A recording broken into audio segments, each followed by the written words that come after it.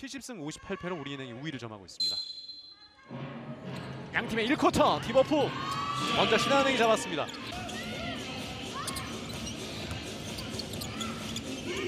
김단비 석점 놓칩니다. 신한은행의 첫 석점 5대5 동점 제 신장이 다 확실히 포스트 플레이는 잘 안 나오네요. 양팀 모두 비슷한데요. 외곽에서 석점 최희샘 오늘 두개 차. 상대가 슛에 대한 부분을 좀 어느 정도 놔주면서 또 돌파에 대한 부분만 막고 있거든요. 네. 외곽선 쪽 유승이 올라갑니다. 석점이 어, 꽂힙니다. 슬리퍼 유승이 쫓아가는 신한은행 뭐 펴지는 않고 있습니다. 남은 시간 2분 40초. 안쪽 공격 빼주는 패스 리버스 어허, 집어넣습니다. 네. 연속 득점에 홍보라. 홍보람 선수 오늘 넘어간 장면이 있었습니다. 그렇기 때문에 좀 경기 흐름이 덜 끊기겠습니다. 네.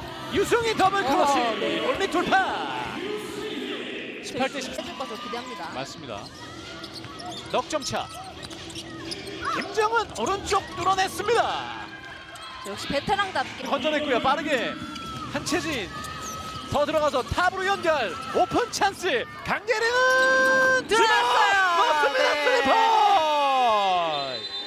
자, 이 부분은 굉장히 의미가 있어요. 지금 우리은행의 수비는 강계리 선수 강계리 자, 리바운드 면에서 지금 신한은행도 잘 잡아주고 있습니다. 유승희 따돌리고 올라갑니다 3점 유승희 역전의 스리러퍼 석점슛 들어갑니다 자, 이 부분이 맞아요. 지금은 안 됩니다. 네. 과거에는 됐었거든요. 네. 허용이 됐다는 거죠. 네, 네. 골밑 투입! 골밑에서의 상대 반칙까지 끌어냅니다. 득점 인정됩니다. 자, 되려 김현희 선수가 다케지 샷클럽, 게임클럽 확인을 하고 있습니다. 스크린형 빼주고요. 나윤정 올라갑니다. 석점을. 꽂힙니다. 네. 슬리퍼! 다섯 점처럼 자, 김소니아 선수 오른쪽을 좋아하거든요. 지금 신한은행의 디펜스는 왼쪽으로 계속 몰고 있어요. 아 그렇군요. 상대 특징을 알고 있는 거군요. 네. 유승희 슬리퍼! 석점으로 이제 두 점 차로 추격합니다. 그렇죠. 지금도 신한은행 다시 김단비. 반대쪽. 강계리 짧은 패스! 네, 골밑 득점! 동점됩니다! 40 대 40! 사실 shot clock이 얼마 남지 않아. WKBL 300 출장 경기인데요. 외곽에서 쏩니다! 슬리퍼! 최 바운드 패스 반대쪽입니다. 붙이고 반대 반칙까지 네. 얻어냅니다. 이 반칙으로 이제 이제 10초 안쪽 들어왔고요. 강계리 파고들다가 뒤쪽 5초 남기고 올라갑니다. 유승희, 유승희, 유승희 네. 석점. 다시 신한은행 51대 40 넉점 차. 석점 안 들어갔습니다. 최인샘의 석점은 불발. 먼 거리에서 김소니야 아, 상당히 먼 거리고요. 시간 이경은 스리퍼 이경은입니다. 신한은행의 스로드 석점에 날개를 답니다. 네. 이경은이 날립니다. 들어가지 않습니다. 김소니아 단독 단독 골밑 들어갑니다. 네. 상대 반칙. 김소니아 석점 플레이. 자, 김 그리고 박혜진 들어가지 아, 않습니다. 아래쪽에서 리바운드 건져가는 신한은행. 남은 시간 1분 20초. 한 점 차 오픈. 김단비! 드디어 김단비가 터집니다. 경기 시간을 흘려보내는군요.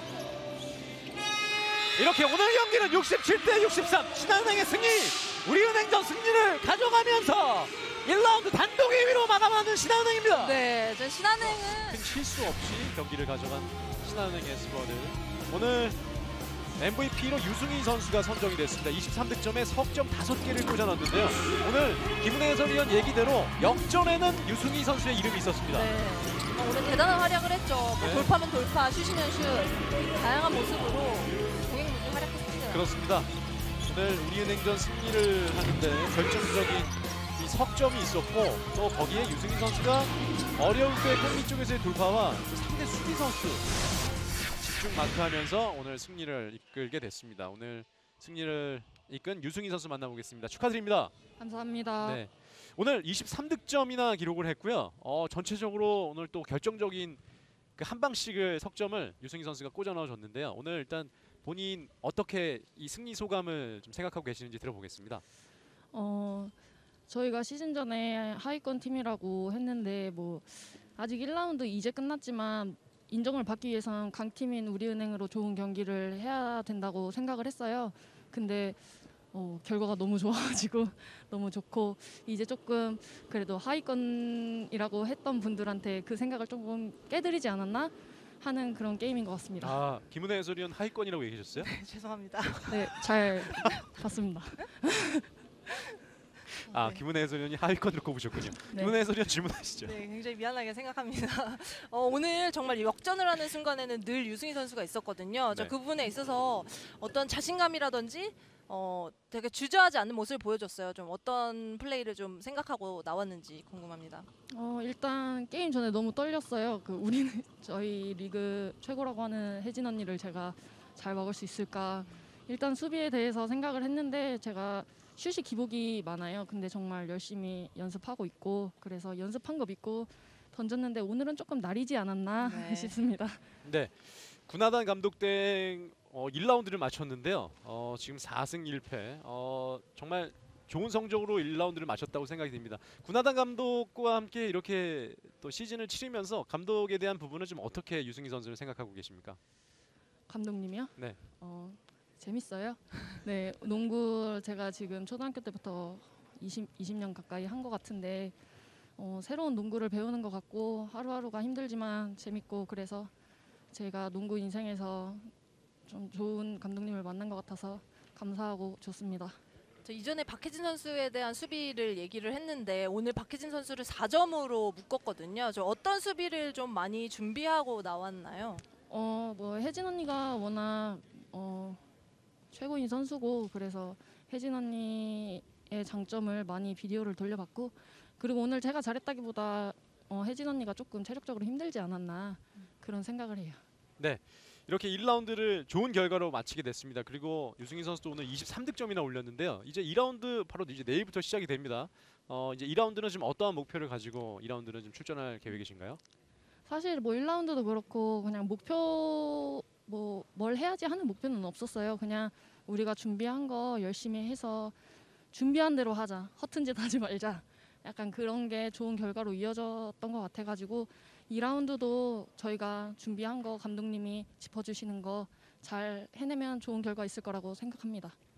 김은혜 해설위원이 하위권이라고 뽑은 신한은행 오늘 어, 승리로서 2위로 마치게 됐는데 유승희 선수는 김은혜 해설위원에게 혹시 하실 얘기 있으십니까? 어 그런 평가들이 저희의 마음을 가볍게 해줬고 저희는 원래 평범한 사람들이 모인 비범한 조직입니다. 신한은행은 그래서 음, 앞으로도 좋은 경기 할 테니까 예상 깨는 경기 할 테니까 많이 응원해 주시고 지켜봐 주셨으면 좋겠어요. 네, 다시 한번 축하드리고요. 김은혜 해설위원 하실 얘기 있으십니까? 네. 아니 제가 좀 유승희 선수한테도 많이 미안하고 되려 좀 저도 유승희 선수한테 좀 자극 받아서 어, 제가 앞으로도 많이 응원하겠습니다. 감사합니다. 네, 이렇게 훈훈한 인터뷰 감사드리고요. 승리 다시, 다시 한번 축하드리겠습니다. 감사합니다. 네. 어, 어떻게 인터뷰를 하다 보니까 사과를 하시게 됐네요.